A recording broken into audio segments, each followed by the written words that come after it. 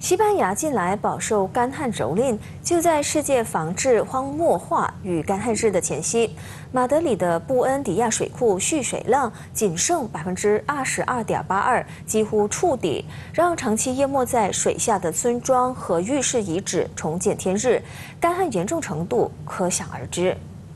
画面上可以看到，一个个整齐排列的昔日浴室围墙几乎完全露出水面，周围的水近乎干涸。西班牙今年迎来历史上第二个最热、最干燥的春季，预计来临的夏天气温也将高于平均水平。目前这座水库的平均蓄水量为百分之四十七点五三，比过去十年的平均值减少将近百分之二十。尽管上个月中旬有下雨，让干旱稍微得到减缓，但依然没能让西班牙摆脱干旱。